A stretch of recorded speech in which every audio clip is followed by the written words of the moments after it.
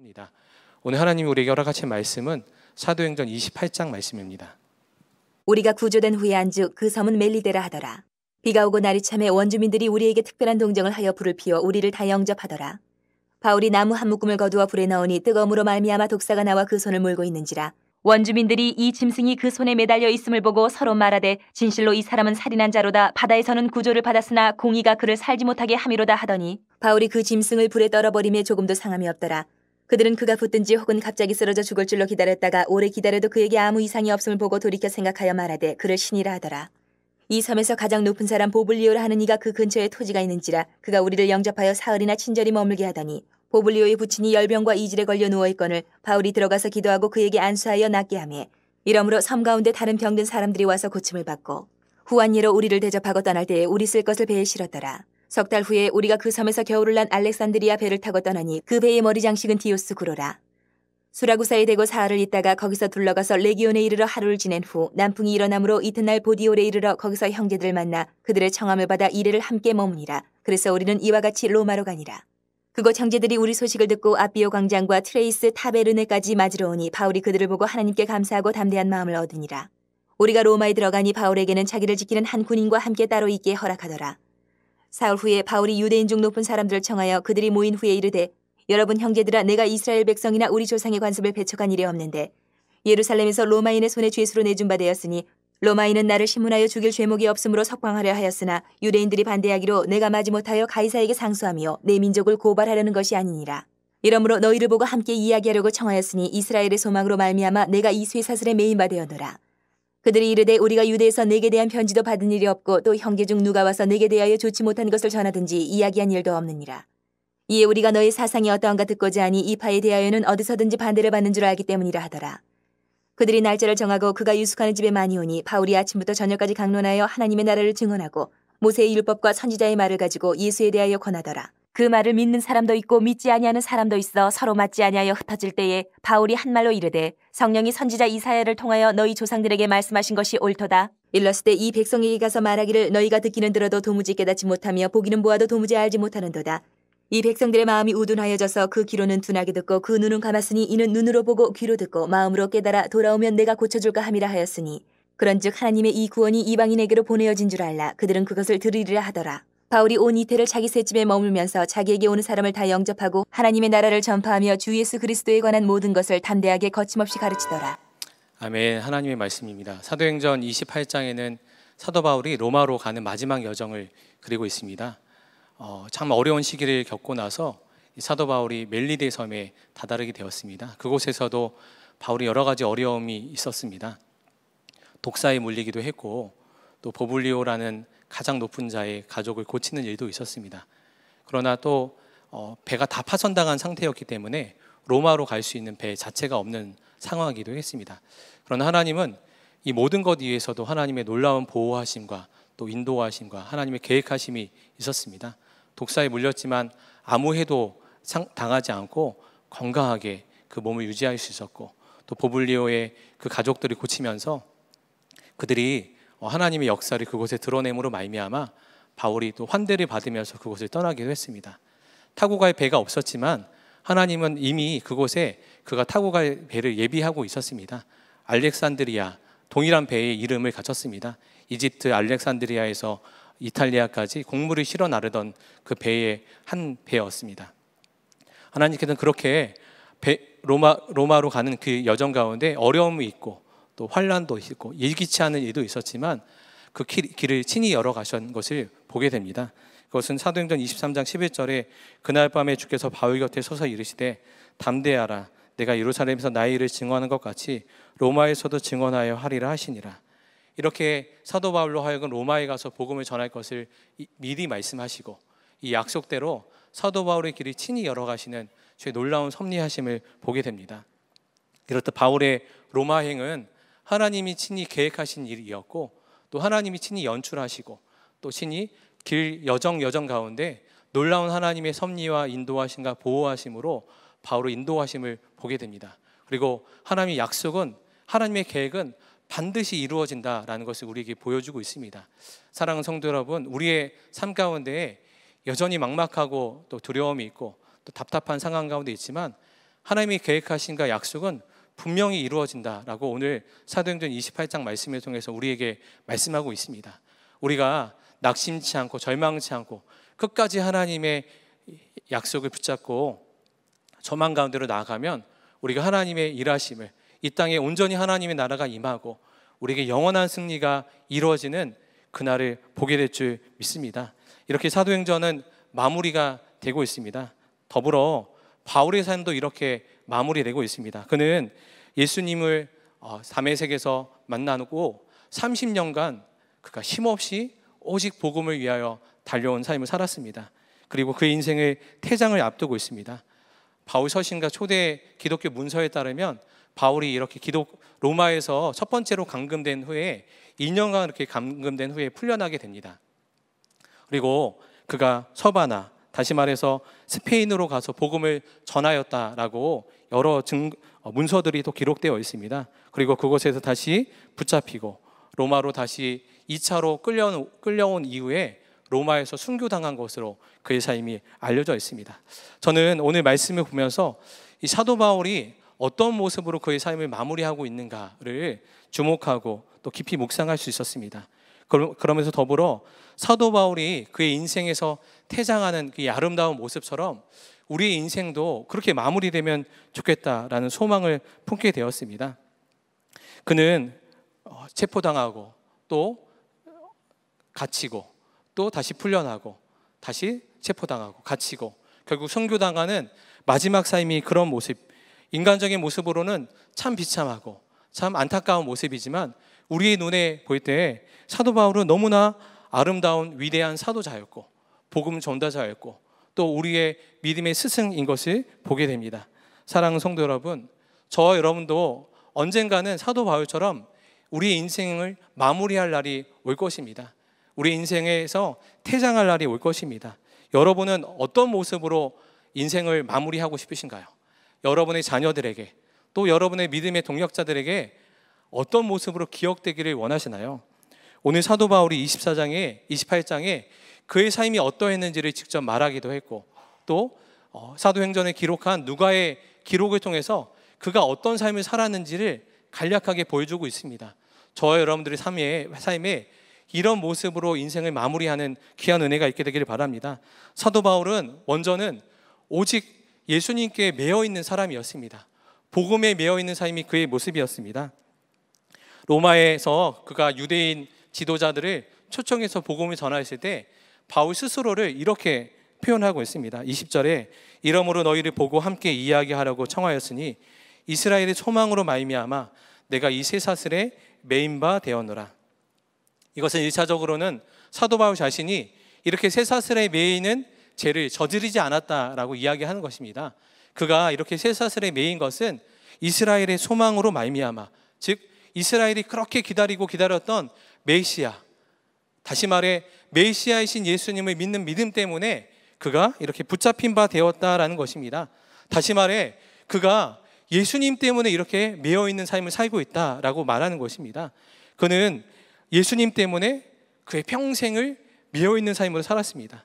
매여 있다라는 것은 우리에게는 참 부정적인 인식으로 여겨집니다. 매여 있다라는 것은 노예, 종이라는 단어와 바꾸어 쓸수 있기도 합니다. 돈에 매여 산다라는 것은 돈의 노예로 산다라는 것이죠. 권력에 매여 산다. 권력을 얻기 위해서는 물불 가리지 않는 삶을 말합니다. 사람에 매여 산다. 어떤 사람의 종처럼 굴림을 당한다라는 것을 말합니다. 예수님께 매여 산다라는 것도 마찬가지죠. 예수님의 종이요, 예수님의 노예로 산다라는 것이 매여 있는 삶입니다. 그에게는 어떠한 자유도, 어떠한 권한도, 어떠한 권리도 없는 삶을 사는 것입니다. 이것이 끔찍한 모습인가요? 그렇지 않습니다.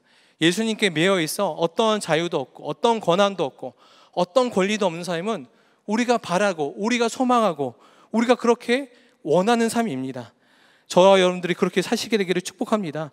매여 있는 삶은 다 포기하는 삶입니다. 그것에 가장 중요한 최고의 가치를 두는 삶이기 때문입니다. 돈에 매여 있는 사람은 돈을 위해서라면 무엇이든 합니다. 다른 거다 잃는 한이 있더라도 돈을 더 많이 얻기 위해서는 그것을 선택합니다. 심지어는 가족을 버리기까지 합니다. 권력에 매여 있는 사람은 권력을 차지하기 위해서 수단 방법이 가리지 않습니다. 예수님께 매여 있는 사도 바울은 예수님 위해서라면 그의 모든 것을 포기하고 아깝지 않은 삶을 살았습니다. 자신의 자유도, 자신의 건강도, 자신의 미래도 다 포기했습니다. 그러나 그것이 사도 바울에게는 가장 큰 기쁨이었습니다. 그가 2년간 감금되었을 때쓴 서신서를 우리는 옥중 서신이라고 합니다. 에베소서, 빌립보서, 또 골로새서, 빌레몬서가 이에 해당합니다. 그곳에는 사도 바울이 그가 예수님께 매여 있는 삶이 어떤 것인지 그의 고백을 통해서 여러 군데 표현하고 있습니다. 빌립보서 3장 7절과 8절에 그러나 무엇이든지 내게 유익하던 것을 내가 그리스도를 위하여 다 해로 여길 뿐더러 또한 모든 것을 해로 여김은 내 주 그리스도 예수를 아는 지식이 가장 고상하기 때문이라. 4장 12절 13절에는 나는 비천에 처할 줄도 알고 풍부에, 풍부 에 처할 줄도 알아. 모든 일, 곧 배부름과 배고픔과 풍부와 궁핍에도 처할 줄 아는 일체의 비결을 배웠노라. 내게 능력 주시는 자 안에서 내가 모든 것을 할 수 있느니라. 사도 바울은 오직 예수님만을 자신의 소망이자 자신의 목적으로 삼았습니다. 그러니까 그는 배설무처럼 모든 것을 버릴 수 있는 믿음이 그에게 있었습니다. 예수님 그분을 아는 지식이 가장 고상하다 여겼습니다. 내가 풍부에 처해도 내가 궁핍에 처해도 예수님 안에 거하기만 하면 모든 것이 다 가능하다라는 것을 그가 고백할 수 있는 삶을 살았습니다. 예수님을 만나면 내가 가진 모든 것이 다 해로 여길 수 있는 그러한 삶을 살게 됩니다. 다 포기하고 다 버려져도 내게 다 없어도 예수님 그분만을 바라보며 살 수 있는 삶이 예수님 믿는 그리스도인의 삶인 것입니다. 이덕주 교수님이 쓴 한국교회 처음 이야기라는 책에 강화 홍이마을의 종순일이라는 분의 이야기가 소개되고 있습니다. 그는 부자 교인이었습니다. 그의 마을에 그에게 돈을 빌리지 않은 사람은 없을 정도였습니다. 그러던 그가 하루는 성경을 읽다가 마태복음 18장에 나오는 예수님의 비유를 읽고 깊이 감명을 입었습니다. 1만 달란트 어, 탕감받은 사람이 100데나리온 빚진 자를 용서 탕감하지 않아서 그에게 옥을 가두었다는 이야기를 듣고서 임금이 화를 내고 그 사람을 옥에 가두었다는 이야기입니다. 그 이야기를 듣고서 그가 너무나 마음에 불안감을 얻었습니다. 그리고 자신에게 빚진 사람들을 다 불러 모아서 불러 모아다 놓고서 마태복음 18장 21절 말씀을 들려주고 이렇게 선언하였습니다. 오늘 말씀에 나오는 이 악한 종이 바로 나입니다. 내가 주님의 은혜로 제사함을 받은 것이 1만 달란트 빚 탕감 받은 것보다 더 크거늘 내가 여러분에게 돈을 빌려주고 그 돈을 받으려 하는 것이 100 데나리온 빚을 탕감해 주지 못한 것보다 더 악한 짓이요. 그러다 내가 천국을 가지 못할 것이 분명하니 오늘부로 여러분들에게 빌려준 돈은 없는 것으로 하겠소. 그리고 빈 문서를 그 자리에서 다 태워 버렸습니다. 이것으로 끝나지 않고 마가복음 19, 마태복음 19장 21절에 내 소유를 팔아 가난한 자에게 주고 나를 따르라. 이 말씀을 듣고서 자신의 재산을 다 처분하고 교회에 헌금했습니다. 그리고 그 교회에 헌금한 돈을 가지고 가난한 자들을 위한 묘지를 구입하는 데 사용했습니다. 또 누가복음 10장 1절에 예수께서 제자들의 둘씩 짝지어 각 지방과 고을에 보내셨다. 이 말씀을 듣고서 감명을 받아서 아내와 함께 괴나를 보침을 지고서 강화도 곳곳을 전도하는 전도자의 삶을 살다가 그렇게 평생 가난한 전도자의 삶으로 그 인생을 마무리하였다라는 것이 한국교회 처음 이야기라는 책에 기록되어 있습니다. 이 종순일이라는 분이 돈에 매여 살던 사람이었습니다. 그러나 그는 예수님을 만나고 돈에 매여 있던 삶에서 벗어나서 오직 예수님께 매여 있는 삶으로 살아 평생 가난한 전도자의 삶을 기쁨으로 여기며 살던 삶이 그의 모습이었습니다. 사랑하는 성도 여러분, 여러분은 지금 무엇에 매여 살고 있으신가요? 무엇을 얻기 위해서 여러분들이 애쓰고 노력하며 시간과 물질과 에너지를 들이며 살고 계시신가요? 우리가 얻어야 할 분은 오직 예수 그리스도 한 분이십니다. 오직 복음에 매여서 예수님에 매여서 다른 거 소망하지 않고 오직 예수님 그 이름을 얻기 위하여 믿음으로 달려나가며 나가는 저 여러분들 되기를 축복합니다. 가난하고 궁핍해도 상관없고 손해보고 억울한 일을 당해도 전혀 문제가 되지 않고 오히려 그것을 기쁨으로 여길 수 있는 그런 믿음이 저 여러분들에게 부어지게 되기를 축복합니다. 바울은 그런 삶을 살았습니다. 또 바울은 담대하게 거침없이 복음을 전하다 전한 삶을 살았습니다. 30절과 31절에 바울이 온 이래를 이태를 자기 셋집에 머물면서 자기에게 오는 사람을 다 영접하고 하나님의 나라를 전파하며 주 예수 그리스도에 관한 모든 것을 담대하게 거침없이 가르치더라. 누구나 인생의 끝자락에 오면 후회가 있고 미련이 남게 됩니다. 우리 인생의 끝에서 무엇을 후회하고 무엇을 미련을 남게 될까요? 더 많은 것을 소유하지 않은 것, 더 높은 자리에 올라가지 못한 것, 더 많은 명예를 얻지 못한 것, 많은 장례식을 치러 보니까 그런 것 아닌 것을 알게 되었습니다. 죽음 앞에 서 보면 진짜 무엇이 중요한지 알게 되는 것입니다. 죽음 앞에 서 보면 진짜 후회가 무엇인지, 진짜 미련이 남는 것이 무엇인지를 알게 됩니다. 우리의 인생의 후회가 무엇일까요? 우리 믿는 자들의 후회는 바로 이것입니다. 내가 하나님을 위해서 더 헌신하지 못하고 하나님을 위해서 더 영광 올려드리지 못한 것 이것이 우리에게 가장 큰 후회가 될 것입니다. 그런 의미에서 바울은 후회도 없는 미련도 없는 삶이었습니다. 그렇게 인생을 마무리하고 있습니다. 그, 왜냐하면 그는 하나님 그분을 위해서 하나님 허락하신 시간 가운데 담대하게 거침없이 복음을 전하는 삶이었기 때문입니다. 그가 2차 전도 여행에 갔을 때 빌립보에서 귀신 들린 여종을 고쳤을 때 그는 선한 일을 함에도 불구하고 억울하게 모함을 당하고 매를 맞고 또 신라와 함께 두 발이 착고에 매어서 투옥당하는 억울한 일을 당하기도 했습니다. 옥문이 열렸을 때 그는 심산, 심신이 지쳐 있는 상황이었지만 그는 한밤중에도 간수와 어, 또한 그의 가족에게 복음 전한 일을 그치지 않았습니다. 또 그는 20장의 긴 항해 끝에 드로아에 도착했을 때 피곤한 몸을 이끌고 회당으로 가서 하나님의 말씀을 강론하기를 멈추지 않았습니다. 그때 삼중 난간에서 말씀을 조이다 떨어진 유도고를 살리는 일도 있었습니다. 그는 예루살렘으로 가는 길에서도 가는 곳곳마다 복음을 전한 일이 멈추지 않았습니다. 로마에 가서도 그는 그 일을 멈추지 않았습니다. 23절에도 그들이 날짜를 정하고 그가 유숙하는 집에 많이 오니 바울이 아침부터 저녁까지 강론하여 하나님의 나라를 증언하고 모세의 율법과 선지자의 말을 가지고 예수에 대하여 권하였더라. 그는 노인 늙은 제수의 몸이었습니다. 그가 로마로 오는 길 가운데서도 수많은 어려움과 환란 가운데 있어도 있으면서 심신이 지치대로 지쳐 있는 상황이었지만 아침부터 저녁까지 그를 찾아오는 모든 이들에게 하나님의 말씀 가르치는 일을 쉬지 않았습니다. 그가 사도 사도 바울이 지중해를 돌면서 그가 걸어 걸고 배 타고 또 그가 전도했던 거리가 무려 1만 3,300km라고 알려져 있습니다. 그리고 그가 다녔던 성의 개수는 무려 57개 되는 성을 다니면서 그는 여정 가운데 수없이 매맞고 추치와 모욕을 당하면서 감옥에 갇히기도 하고 수치를 당하고 또 매맞기도 하였지만 그의 걸음을 멈추지 않고 담대하게 거침없이 후회 없이 복음을 전한 삶을 살았습니다. 그럼에도 불구하고 감옥 로마에서 2년간 감금 생활하면서도 그의 복음 전하는 삶을 끝내지 않았다라고 그는 빌립보서에 빌립보서 3장 13절 14절에 이렇게 고백합니다. 형제들아 나는 아직 내가 잡은 줄로 여기지 아니하고 오직 한 일, 즉 뒤에 있는 것을 잊어버리고 앞에 있는 것을 잡으려고 표대를 향하여 그리스도 예수 안에서 하나님이 위해서 부르시는 부르심의 상을 위하여 달려가노라. 바울은 그의 삶의 전체를 다 쏘아 보아서 전체 삶을 들이면서 후회 없이 거침없이 담대하게 복음을 전하는 삶을 살고 있습니다. 사랑하는 성도 여러분, 하나님은 우리에게 귀한 사명을 허락해 주셨습니다. 우리의 직분도 허락하시고 우리 각자 각자의 가정이라는 성교지, 직장이라는 성교지, 또 삶의 여러 곳에 또 사명지를 허락해 주셨습니다. 여러분들은 그곳 하나님이 보내신 그 자리에서 어떻게 살고 계신가요? 사도 바울처럼 담대하게 거침없이 복음 전하며 후회도 미련도 없는 삶을 살고 계신가요?